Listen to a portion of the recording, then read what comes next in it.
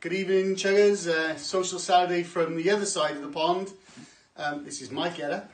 Very, uh, very country, very redneck. I think he'll do, don't you? So let's get on with it.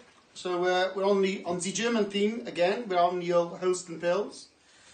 Uh, I can't do, I can't do those shotgun things that you do. One, because we're not allowed to carry knives, but I am in my house, so I could use one, but I'm not. So, okay, I, I'll just have to practice over the weekend. I've got a week off. Left-handed. So uh, appreciation to the rednecks, and as I understand it, all the hard-working people. I think that's where it comes from, who work out in the fields and toil hard, so I can uh, much appreciate you.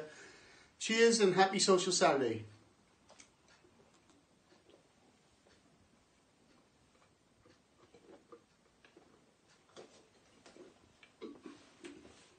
Chichagels.